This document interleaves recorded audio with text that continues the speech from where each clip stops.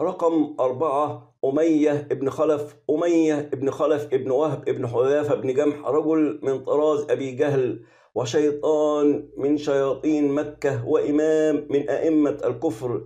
كان أمية بن خلف إذا رأى رسول الله صلى الله عليه وسلم همزه ولمزه فأنزل الله تعالى فيه ويل لكل همزة لمزة الذي جمع ماله وعدده يحسب أن ماله أخلده. كلا لينبذن في الحطمة. وما أدراك ما الحطمة؟ نار الله الموقدة التي تطلع على الأفئدة. إنها عليهم مؤصدة في عمد ممددة. سورة الهمزة. وبلغ الكفر بهذا الأشقى وغيره مبلغا عظيما.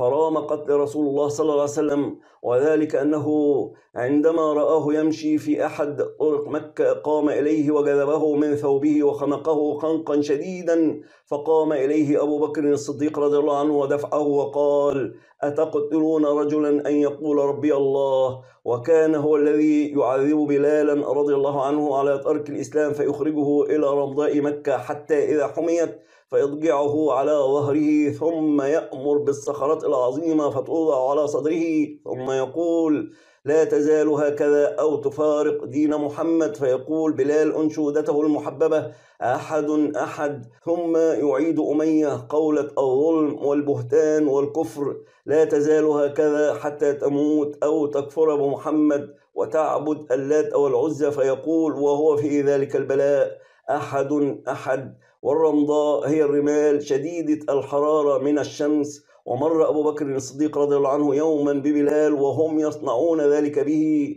وكانت دار أبي بكر في بني جمح فقال لأمية بن خلف ألا تتق الله في هذا المسكين حتى متى؟ قال أنت الذي أفسدته فأنقذه مما ترى. فقال أبو بكر أفعل عندي غلام أسود أجلد منه أقوى على دينك أعطيكه به. قال قد قبلت. فقال هو لك؟ فأعطاه أبو بكر الصديق رضي الله عنه غلامه ذلك وأخذه فأعتقه.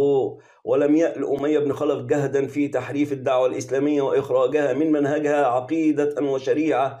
فقد لقي هو والوليد بن المغيرة والعاص بن وائل والأسود بن عبد المطلب رسول الله صلى الله عليه وسلم فقالوا يا محمد هلم فلتعبد ما نعبد ونعبد ما تعبد ولنشترك نحن وأنت في أمرنا كله؟ فأنزل الله تعالى قل يا أيها الكافرون لا أعبد ما تعبدون ولا أنتم عابدون ما أعبد ولا أنا عابد ما عبدتم ولا أنتم عابدون ما أعبد لكم دينكم ولي دين سورة الكافرون. ولما انطلق المشركون لقتال المسلمين في بدر قعد أمية عن الخروج. وكأنه أحس أنه سيقتل في هذه المعركة فأتاه عقبة ابن أبي معيط وهو جالس في المسجد بين ظهراني قومه بمجمرة يحملها فيها نار ومجمر حتى وضعها بين يديه ثم قال يا أبا علي استجمر فإنما أنت من النساء. قال قبحك الله وقبح ما جئت به.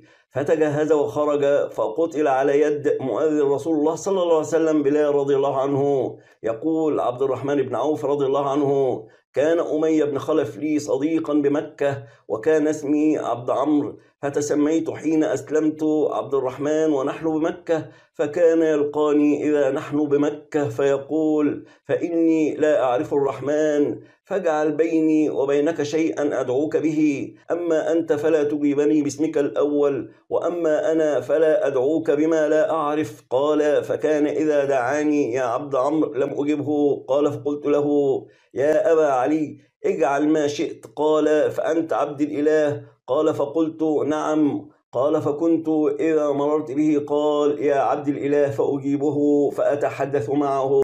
حتى إذا كان يوم بدر مررت به وهو واقف مع ابنه علي بن أمية آخذ بيديه ومعي أذراع. قد استلبتها فأنا أحملها. فلما رآني قال لي يا عبد عمرو فلم أجبه. فقال يا عبد الإله فقلت نعم. قال هل لك في فأنا خير لك من هذه الأذراع التي معك؟ قال قلت نعم الله ذا. قال فطرحت الأذراع من يدي وأخذت بيده ويد ابنه وهو يقول ما رأيت كاليوم قط أما لكم حاجة في اللبن؟ قال ثم خرجت أمشي ومعنى أي من أسرني افتديت منه بإبل كثيرة اللبن. قال عبد الرحمن قال لي أمية وأنا بينه وبين ابنه آخذ بأيديهما. يا عبد الإله من الرجل منكم المعلم بريشة نعامة في صدره؟ قال قلت ذاك حمزة ابن عبد المطلب. قال ذاك الذي فعل بنا الأفاعيل؟ قال عبد الرحمن.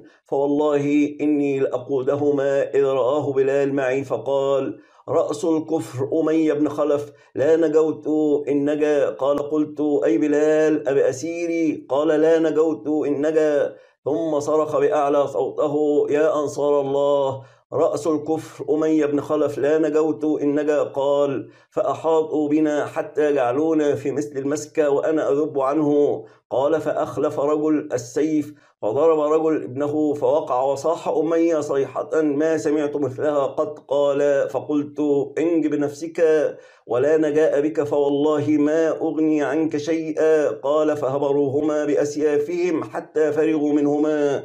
فكان عبد الرحمن يقول يرحم الله بلالا ذهبت أضراعي وفجعني بأسيري ومعنى جعلونا في مثل المسكة أي جعلونا في حلقة كالسوار وأحدقوا بنا ومعنى فأخلف رجل السيف يعني سله وأخرجه من غمده ومعنى فهبروهما بأسيافهم أي قطعوها. لعنة الله على الكافرين صلى الله على محمد صلى الله عليه وسلم.